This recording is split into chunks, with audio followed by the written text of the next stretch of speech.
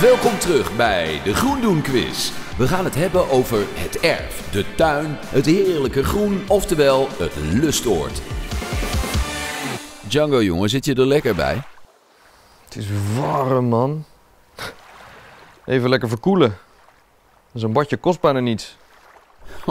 Kost bijna niets. Om zo'n plastic badje te maken kost een hoop energie. En om het te verschepen naar Nederland kost een hele hoop uitstoot. En wat te denken van al het water? Eh, ja? Hoeveel water gaat er in een klein kinderbadje? Is dat A, de inhoud van wel 600 flessen kraanwater? B, de inhoud van zo'n 800 flessen kraanwater? Of C, de inhoud van minstens 1000 flessen kraanwater?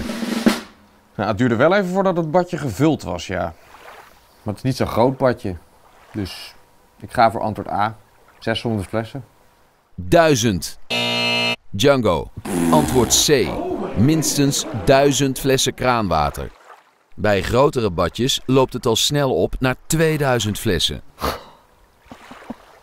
Nee, als ik dat moet opdrinken. Ja, dan ben je nog wel even bezig. Ook in de tuin gebruiken we water. En ook hier kun je besparen. Waterattributen, speeltjes, zijn tegenwoordig populair. Als je een badje koopt, verkijk je dan niet op de grootte. Een klein badje geeft hetzelfde plezier en het bespaart je geld, zowel in aanschaf als in het waterverbruik.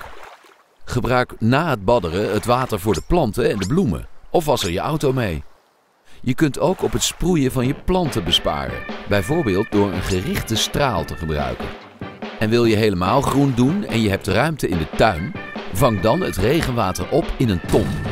Dit water is ook goed te gebruiken voor het schoonmaken van je terrasmeubels of je auto. Ja, maar ik heb maar één plant in mijn tuin. En dit is een beetje veel water voor één plant, vind je niet? Ik kan er wel een fiets mee schoonmaken. Nou, dat lijkt me een slimme zet. Maar ik denk niet dat ik dat vandaag ga doen. Warm, man. Op zomerse dagen zweet een mens wel zomaar een aantal liter op een dag.